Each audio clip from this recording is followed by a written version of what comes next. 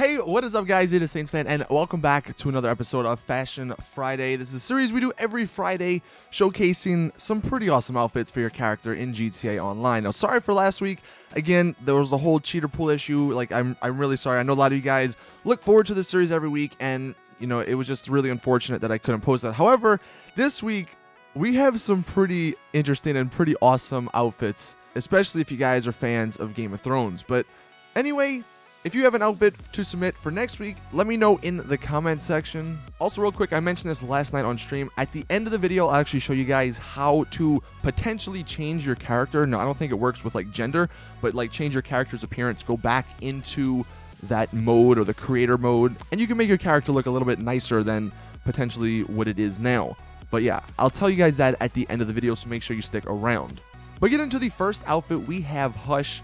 And this one's not only by Dante, but this one's by a bunch of you guys who put this in the comment section over the past few episodes. I mean, I guess it is really easy to do, and if you're going for like a bad guy or a villain, then it looks pretty unique. If you guys didn't know who Hush was, though, he's a Batman villain in the comics, so if you guys are a fan of that, then, you know, this would be good for you. But to make this outfit, start with a beige overcoat, then put a charcoal t-shirt and standard body armor underneath it. Also, you can put on black tactical gloves, for the bottom, go ahead and put on black heist pants with the black tactical boots. And then, as you can tell from the head, put on the white duct tape mask. Now again, fairly easy to do villain outfit, especially if you guys are going to go around terrorizing people and role-playing that in GTA Online. Might not be for everybody, but I figured I would put it in since a lot of people were submitting it. So there you guys have it with the first outfit.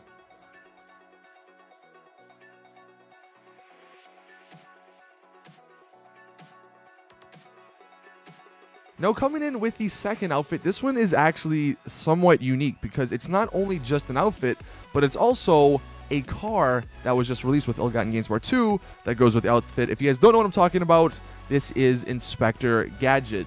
Now, to make this outfit, you're going to want to start with a gray overcoat with a white tucked shirt and a navy tie with brown leather gloves. For the bottom, put on navy suit pants as well as gray slip-ons and then for the head, go with some sort of black hair with a gray fedora. And I'll go ahead and put up a picture on the screen. It, it, looks really similar to the outfit, obviously, in the cartoon. What makes this outfit even more awesome is that you can combine this with a car, the Coil Brawler in the game.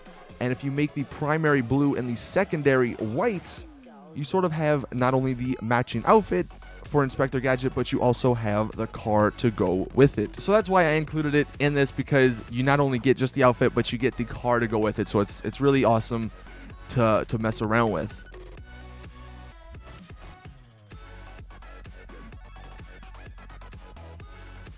Now moving into the third outfit, this one is my favorite outfit of all time, I think, in GTA.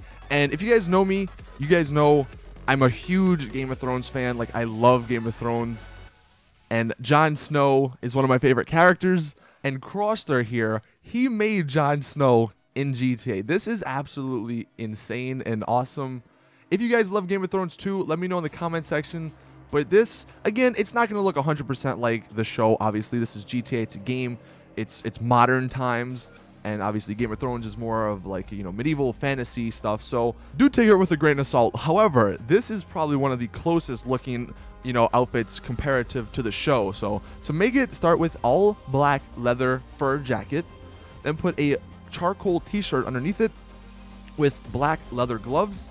For the bottom, go with black heist pants and black scruffy boots. And then for the head, put on black shaggy hair with black stubble and dark brown contacts, and then black natural eyebrows. So this guy went all out, man. He's even including the eyebrows. That's how you know this guy put some time into this outfit. But this is absolutely insane. I'll go ahead and throw up a picture on the screen of what he looks like in the show. And this is probably as close as you're ever going to get. I mean, this fur coat, that, like, that just, I didn't even realize that you could do that when it first came out, but I'm so glad that somebody made this outfit because now this is definitely going to be one of my favorites to run around in, in GTA. Now, moving into the fourth outfit, we have the fireman, and this one is probably by far the most difficult outfit I've ever done.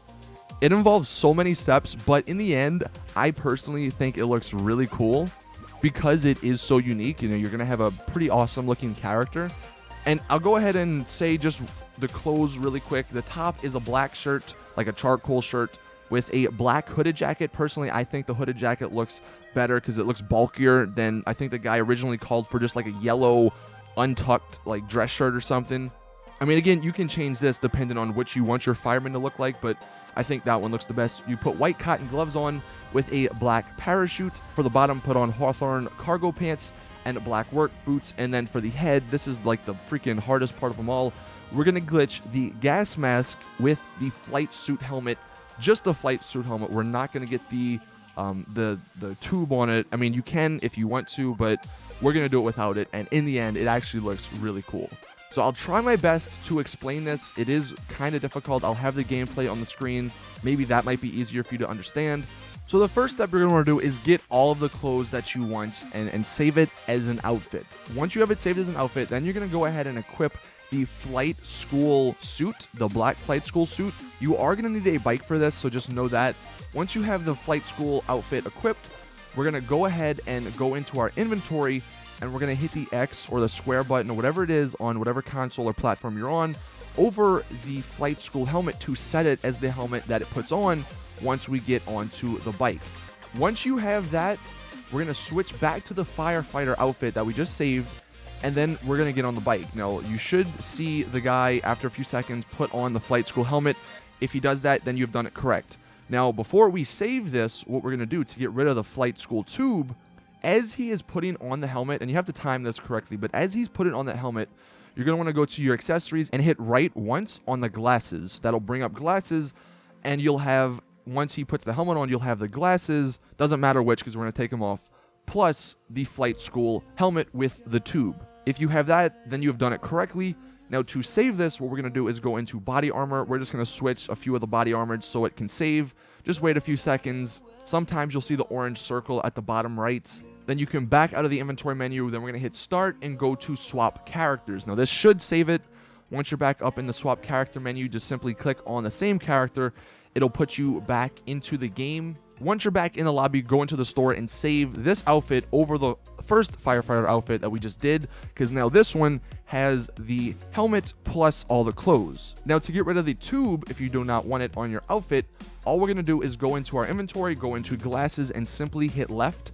What that'll do is get rid of the glasses and the tube. Now you can go back into the store and save this outfit so it's just the helmet, no tube, with the outfit that you have. Now once you have that saved, the last part of this outfit is we're going to get the gas mask to go with it. So to get that, you're going to want to put on one of the heist coveralls. If not, if you have an outfit with this already glitched on there, it, that'll work too. But it, it's just easier if you do the heist coveralls because obviously that has it there. Then we're going to go to a soda machine and we're going to do the same soda machine glitch. You drink it. Once you can pull up the interaction menu about halfway through, we're going to quickly go into the outfits and you're going to want to double tap on the firefighter because if you hit it once, as you see, it puts on the tube, but if you hit it twice, it'll actually get rid of it. So again, really complicated, but hopefully this sort of makes sense. Once you have done that correctly, you will now have the outfit with the mask, with the flight school helmet. And now all you got to do is go to the outfit store again and save it one last time and this will be good. Now, again, the first thing you're going to want to do is make sure your outfit is correct. So if you don't like the way I have it, maybe you want to change the shirt up top then you can do that. Maybe you don't even want the hoodie jacket. Maybe you just want the charcoal shirt on because, you know, maybe you want your firefighter to look like that. But this is actually really awesome. And again, like I said, it's not 100% like a firefighter, but but the glitches that we had to do to get this to work makes it really unique. It makes it really awesome when people see you're like, oh my god, what? How did you get a flight school helmet without the tube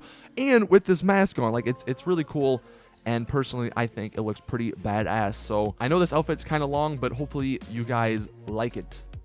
Now moving into the final outfit, this one is a female character outfit. And again, like I've said in previous ones, if you guys have any female character or black character outfits, be sure to take a picture of the outfit on your character so I can, you know, put that in the video at the end. But anyway, this outfit is Claire from Jurassic World. If you guys have seen the movie, pretty good movie. To make it though, you're want to start with a navy tank top and then put a white blazer on top of that. For the bottom, put on a gray pencil skirt with beige patent heels.